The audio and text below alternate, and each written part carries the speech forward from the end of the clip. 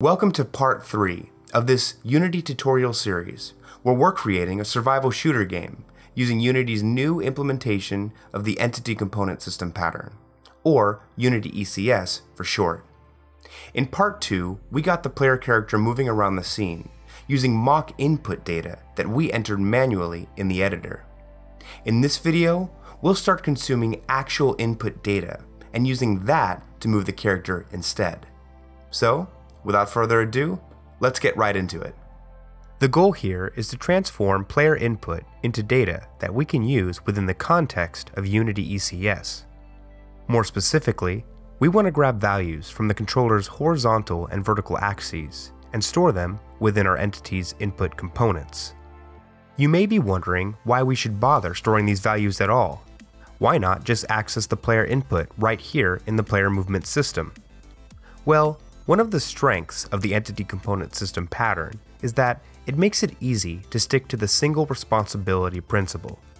The single responsibility principle states that every class should be responsible for one function of the program. The player movement system is responsible for, well, moving the player. Anything more would just add layers of complexity that would make the system more error prone and harder to test. The single responsibility principle can, however, create a shift in complexity that's important to be aware of. Medium to large scale games could potentially end up with hundreds of systems. That would add an entirely new layer of complexity to the project in the form of massive directories that are hard to navigate. The solution is either to compromise and allow systems to perform more than one function, or to come up with a well thought out and documented folder structure that separates your class files into sensible groups. For now, we won't worry about it. We need to implement our new behavior. So, let's create a system. I'll call it Input System.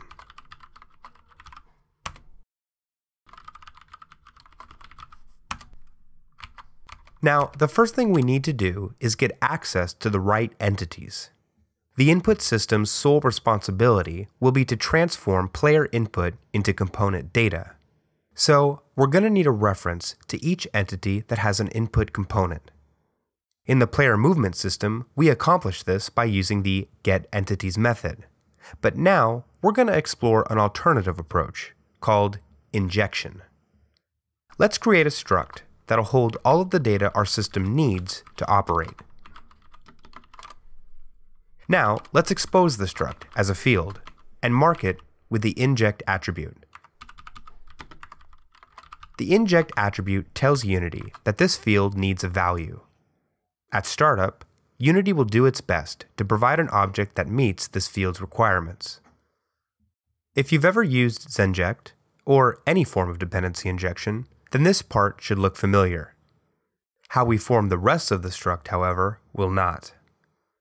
Adding fields to the struct that have specific types and or names will tell Unity how to populate those fields with certain predictable values. For instance, adding a field of the type component array and setting its generic type to input component tells Unity to scan the scene for entities that have an input component. Unity then takes those entities' input components and uses them to populate the component array object. This concept is known as convention over configuration, or coding by convention. Convention over configuration is a design paradigm used by frameworks that tries to decrease the number of decisions the developer has to make. Following certain conventions is supposed to make it easier to get things done by not requiring you to configure the framework or make decisions about how it should work underneath the covers. There are a few other special types and reserved names that we can include, which will instruct Unity to inject certain values into the struct instance. For example, an int called length will be given a value that correlates to the number of entities Unity finds based on the other fields in the struct. We'll use the length field now to loop through our entities and access each one's input component.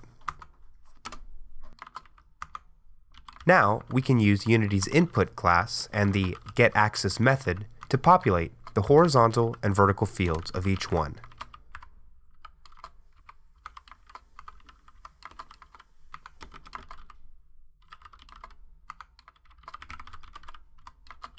And there's actually a slight optimization we can make before testing this in the editor. We're going to move the call to input outside of the for loop. You may have noticed that I did this for delta time in the player movement system as well.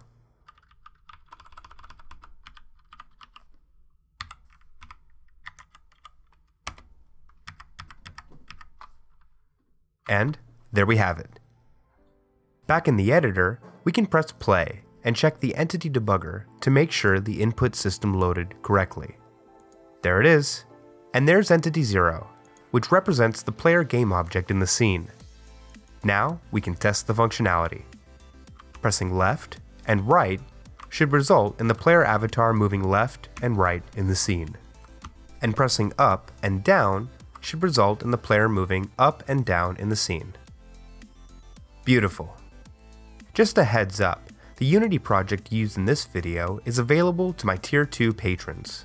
If you'd like to download the project files and support my content, please consider becoming a patron today.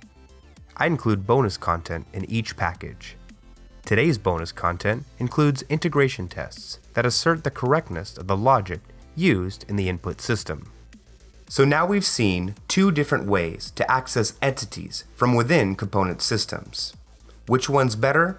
Well, I'll leave that up to you and your particular use case. In the next video, we'll continue adding functionality to the player character by adding rotation that's based on the current mouse position. We'll be using a lot of concepts that we've covered so far, so it'll be a nice little review before we start moving on to more advanced topics. If you found this Unity tutorial helpful, please leave a like and a comment letting me know what you thought. And for more Unity tutorials just like this one, don't forget to subscribe with notifications on. I'll catch you in the next video. Thank you to all my patrons, and a special shout out to Glasswell Entertainment, Richard Stance, and Yakov.